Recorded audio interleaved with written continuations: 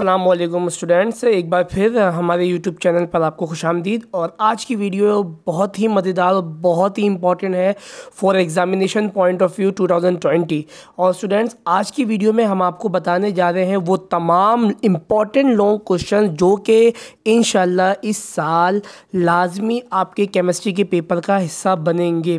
तो हम सबसे पहले तो आपको कुछ टिप्स देंगे कि आपके जो केमिस्ट्री का जो पेपर पैटर्न अगर हम देखें तो केमिस्ट्री का जो पेपर पैटर्न होता है, वो बेसिकली जो है वो केमिस्ट्री थ्योरी की अगर हम बात करें तो वो 85 मार्क्स की होती है। और 85 मार्क्स की जो थ्योरी पेपर होता है, ये आपका तीन सेक्शन में कंसिस्ट होता है। Section A section B and section C आज की वीडियोस में हम आपको सेक्शन सी से मुतालिक जो है वो इंपॉर्टेंट क्वेश्चंस बताएँगे। अगर हम बात करें बुक की तो बुक के अंदर एटलीस्ट मेरे ख्याल से जो है ट्वेंटी फाइव प्लस जो है वो लॉन्ग क्वेश्चन हैं। लेकिन आपको आज की वीडियोस में हम बताएँगे बारह क्वेश्चन और इन जिसमें से आपको छः क्वेश्चन जो है वो आपको एग्ज़ाम में इंशाल्लाह लाजमी मिलेंगे। तो सेक्शन ए की अगर हम बात करें तो ये सेवनटीन मार्क्स का होता है सेक्शन बी जो है ये फोर्टी मार्क्स का होता है, जबकि सेक्शन सी जो है ये ट्वेंटी एट मार्क्स का होता है। Section A M C Qs पर कंसिस्ट करता है। Section B short answer question और section C long answer question तो आइए हम सबसे पहले बात करते हैं हमारे एग्जामिनेशन पॉइंट ऑफ़ व्यू से पहला सवाल जो मोस्ट इंपॉर्टेंट है, वो कौन सा है? अगर हम बात करें सेक्शन सी की तो सेक्शन सी में टोटल टोटल मार्किंग जो होती है, वो ट्वेंटी एट मार्क्स होते हैं। टोटल क्वेश्चन जो है, वो चार आपको जो है, वो एग्जामिनर देता है और आपको उसमें चॉइसेस होती हैं दो की with respect to A and B और एक सवाल जो है, वो सात नंबर का जो है, वो आपके पास होता है। उसके अलावा अगर हम बात करें सबसे मेन इंपॉर्टेंट पहला सवाल कौन सा है, जो इस बार जो है एग्जामिन एग्जामिनर जो है वो लाजमी जो है वो पेपर का हिस्सा बनाएगा। और वो पहला सवाल है जनाब, चैप्टर नंबर टू से, जिसका नाम है लॉ ऑफ़ केमिकल कॉम्बिनेशन, और सवाल है state and explain law of conservation of mass and give its practical verification by Landolt जैसा कि बच्चों, आप तमाम बच्चे जानते हैं कि आपके एग्जामिनेशन जो है वो कोरोना वायरस की वजह से जो है वो कैंसिल नहीं हुए पोस्टपोन्ड हुए। एग्ज़ामिनेशन होने हैं और इन बिल्कुल होने चाहिए ताकि इससे जो है, जो बच्चा मेहनत कर रहा होता है, पूरे साल जो है उसको जो है उसका फल मिले। तो हमारी भी ख्वाहिश और आपकी भी उम्मीद करते हैं कि यही ख्वाहिश होगी कि एग्ज़ामिनेशन जो है वक्त मुकर पर जो टाइम दिया हुआ है उस पर हो। तो सिंध बोर्ड के तमाम स्टूडेंट्स के लिए जो तीसरा इंपॉर्टेंट सवाल है, वो तुम, वो आपके पास है discovery of nucleus by Rutherford gold foil जिसका ताल्लुक जो है चैप्टर नंबर थ्री से है। ये सवाल जो है, ये भी बड़ा मोस्ट इंपॉर्टेंट है इस साल के पेपर पैटर्न के लिए।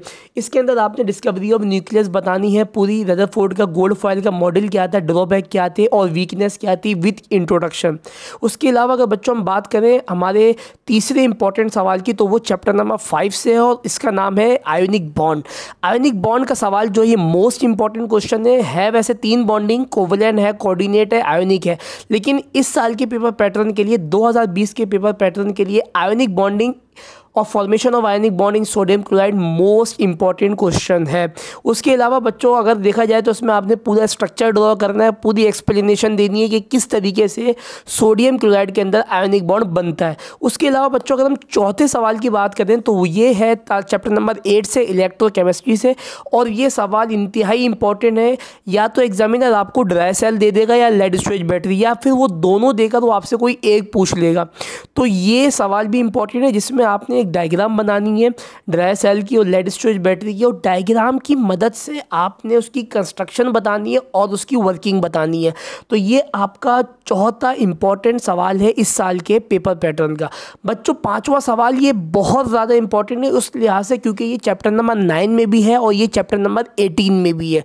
और सवाल के ऊपर मैं वीडियो बना चुका हूँ और सवाल टॉपिक है industrial preparation of washing soda by ammonia Solvay process तो ये सवाल भी बहुत ज़्यादा इंपॉर्टेंट है क्योंकि ये आपकी बुक के दो चैप्टर्स में है और ये सवाल लास्ट ईयर भी नहीं आया है तो लिहाजा ये एक इंपॉर्टेंट सवाल है इस साल के पेपर पैटर्न के लिए।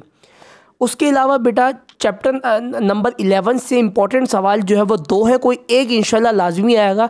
या तो industrial preparation of hydrogen gas के वो मेथड्स पूछ लेगा वो चार पूछ लेगा या पाँच पूछ लेगा, या वो तीन पूछ लेगा, वो उसके ऊपर है। या फिर वो आपको हार्ड वाटर पूछेगा कि हार्ड वाटर बताइए और कौन कौन सी हार्डनेस होती है, उसको कैसे रिमूव करते हैं।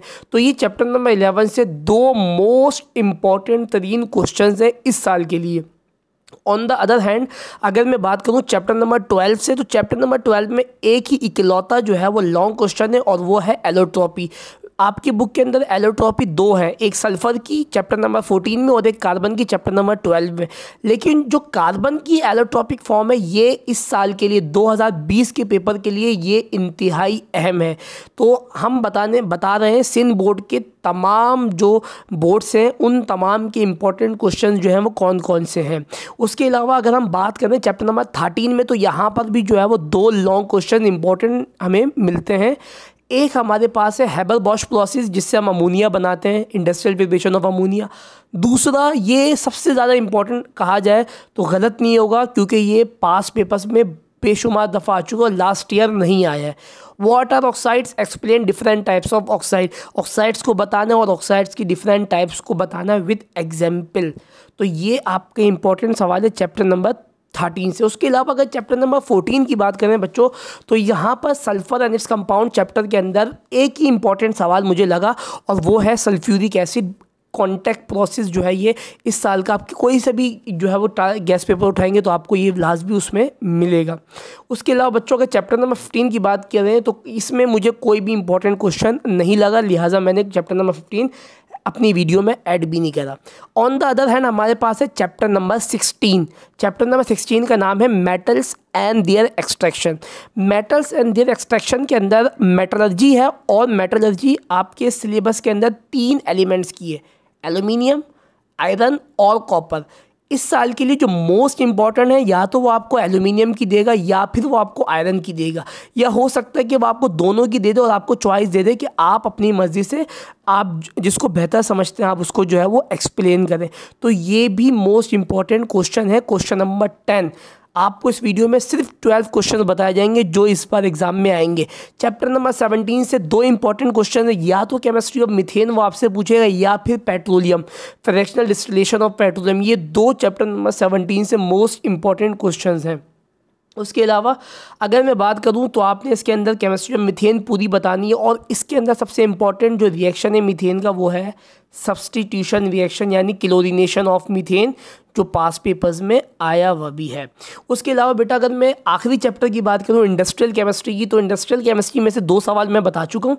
एक सवाल बता चुका हूँ, एक सवाल और है industrial preparation of caustic soda यानी sodium hydroxide in by Castner Kellner cell process तो ये बारह वो इंपॉर्टेंट क्वेश्चन हैं जो इन इस साल आपके लॉन्ग सेक्शन में आपको जो है वो पढ़े हुए मिलेंगे और बिल्कुल भी अपना टाइम वेस्ट मत करें। अब आप जो है अपनी किताबें उठाइए, अपने नोट्स उठाएँ, जो भी आपको लेक्चर्स दिए गए वो उठाइए और उसकी तैयारी स्टार्ट कर दीजिए। एम के लिए भी मैंने कुछ इंपॉर्टेंट पॉइंट्स बताएँ, क्योंकि एम जो है वो फ़र्स्ट इंप्रेशन होता है आपके पेपर का। तो एम के लिए इंपॉर्टेंट बातें ये हैं कि आप टेक्स्ट बुक को रीड करें, आप पास पेपर्स को रीड करें, आप बुक में जो हाईलाइट्स मौजूद है उसको रीड करें।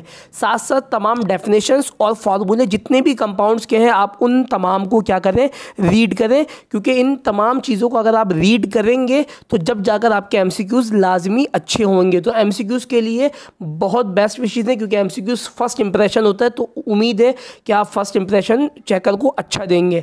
Important short question of section B के ऊपर इंशाल्लाह मैं वीडियो बाद में बनाऊँगा, क्योंकि वीडियो बहुत लंबी हो जाती, लिहाजा मैंने आपको ये वीडियो नहीं बनाई है। तो बच्चों, इसी बारह क्वेश्चन के साथ आप तैयारी करें। इन आप जो है अपने उस्ताद उबैद अहमद खान को अच्छे अल्फाजों में याद करेंगे, और आप आप लोगों ने मुझे दुआओं में याद रखना है। ज़ाहिर है, मैंने आपको बुक में 25-30 क्वेश्चन है। मैंने उसमें से आपको कलेक्ट करके मैंने 12 क्वेश्चन जो है आपकी खिदमत में पेश कर दिए thank you so much next video के लिए इंतज़ार करिएगा। अल्लाह हाफिज़।